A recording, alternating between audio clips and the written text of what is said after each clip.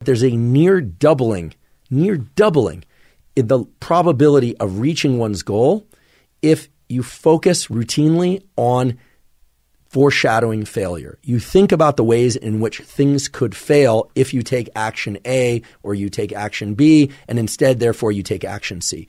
You're supposed to think about how things could fail if you don't get up and run each morning if your goal is, say, a fitness goal. So let's uh, use that as an example. Let's say somebody is, sets a goal of running five miles four times a week minimum and as many as seven four times a week minimum before 8 a.m.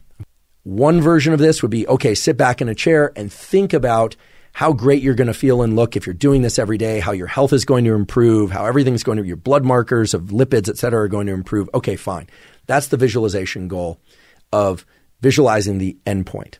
Turns out that is far less effective and maybe even counterproductive compared to thinking about what's going to happen if you don't do this the negative health outcomes that are going to occur, the disappointment you're going to have in yourself, the fact that you're going to wait until 7:30, that's not long enough for many people to run 5 miles. You go to put it on your shoes, it's going to be pouring rain or even hailing or snowing outside and now you're not going outside unless you're somebody who's particularly motivated to do that.